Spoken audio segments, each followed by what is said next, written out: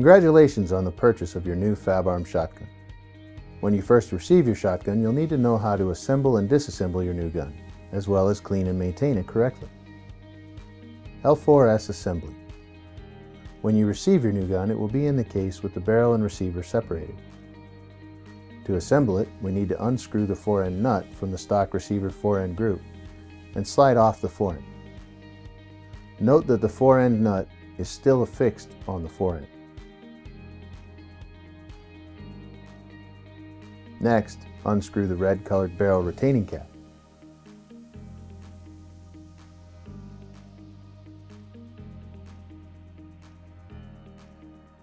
With the bolt forward, position the barrel extension between the bolt and the inside of the receiver while ensuring the gas cylinder hanging on the barrel guides over the magazine tube extension and the gas piston.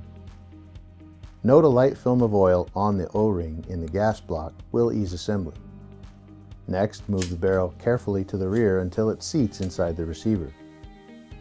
Note that there may still be a small gap between the rib and the receiver. Next, tighten the barrel retaining cap firmly by hand. Now, reinstall the fore-end and slide it backward until it stops approximately 3 millimeters from the frame. Then screw the fore-end cap down while guiding the fore-end toward the frame. To lock the action open, Press the cutoff lever outward from the frame till you hear a click. Then the gun will lock back when opened on the next cycle. To close the action, press the release button on the left side of the receiver.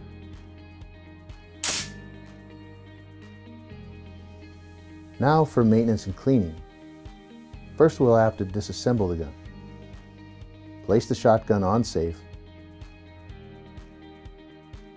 and ensure that it is completely unloaded. With the bolt closed, unscrew the magazine cap and remove the fore-end. Next, unscrew the red colored barrel retaining cap. Then carefully remove the barrel by pulling it out of the receiver and remove the piston from the magazine tube. While holding the action bar back with your left hand, Use the rim of an empty shell to carefully pry the cocking handle out and remove it. Next, slide the action bar group out of the gun and remove the bolt. Then, remove the spring from the magazine tube. With a pin punch, tap out the two trigger guard pins.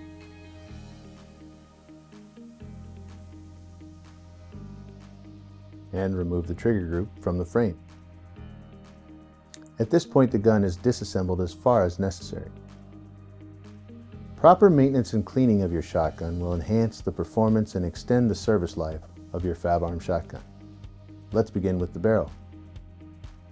First, wet a patch with bore cleaning solvent and swab the inside of the bore by pushing the wet patch through from the chamber end of the barrel. If necessary, use a bronze brush to remove any heavy fouling. Then, clean the action bar. Wipe clean inside and out using solvent if necessary. Next, we'll clean the bolt. The bolt must be cleaned thoroughly. Use a good gun oil and bristle brush to clean it. To disassemble the bolt for cleaning, press the firing pin in and allow the retaining pin to drop out.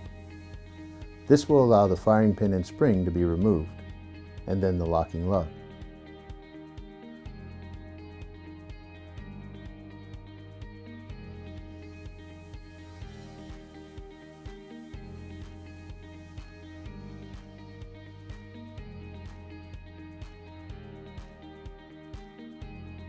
Note when reassembling the bolt to be sure the firing pin retaining pin is installed from the bottom. Next, the piston and gas cylinder. Clean these parts with solvent and a patch to remove the powder and gas residues. Use caution not to dislodge or damage the O-ring in the gas block. Be sure to dry the parts before reassembling. Now the magazine tube. Wipe the magazine tube clean using a patch and solvent if necessary to remove residue from gas and powder. The magazine restriction plug is easily removed for cleaning. Slide out, wipe down, and reinstall. After cleaning, a light film of oil applied to the tube is acceptable. However, excess lubricant here can lead to function issues due to debris getting trapped in the film. Next, you'll want to clean the trigger group. First, wipe down the entire trigger group with a clean dry rag. Ensure all debris is removed.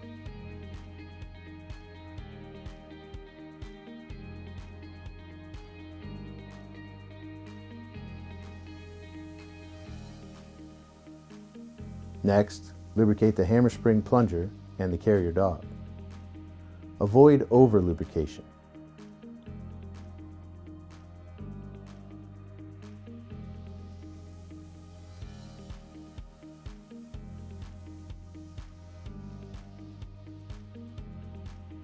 Be sure to maintain your shotgun with a thin coat of gun oil, barrel, frame, and magazine tube.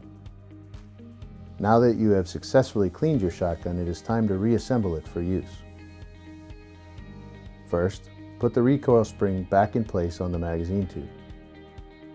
Next, place the bolt assembly on the end of the action bar and be sure the bolt is seated down and captures the plunger. This will force the bolt forward and allow the locking lug to drop which ensures the barrel will fit later. Next, guide the assembly into the tracks on both sides of the receiver and snap the cocking handle into position. Test the bolt for movement, being sure the bolt returns forward under spring tension. Note the bolt handle will load on the front of the ejection port when at rest. Ease this down slowly to prevent marring the frame. Now the trigger group. First, check that the hammer is in the cock position and the safety is engaged. Then, reinstall the trigger group. Place the back of the group in the slot in the stock, then rotate into the gun, while pulling the cutoff lever to the outside for clearance. When you reinstall the trigger group pins, note that the pins are different lengths. The front pin is longer than the rear pin.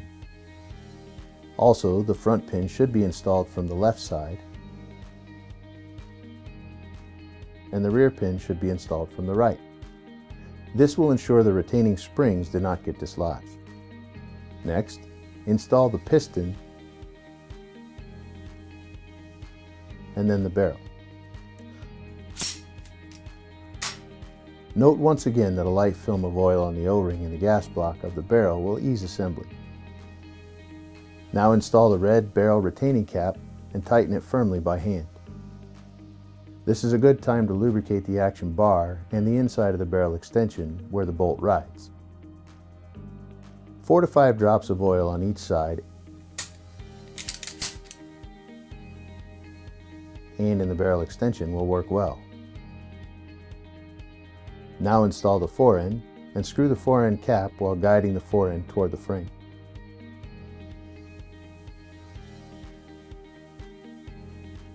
Your shotgun is now properly cleaned, reassembled, and is ready for use. For more information on care and performance of your FabArm shotgun, visit us now at fabarmusa.com.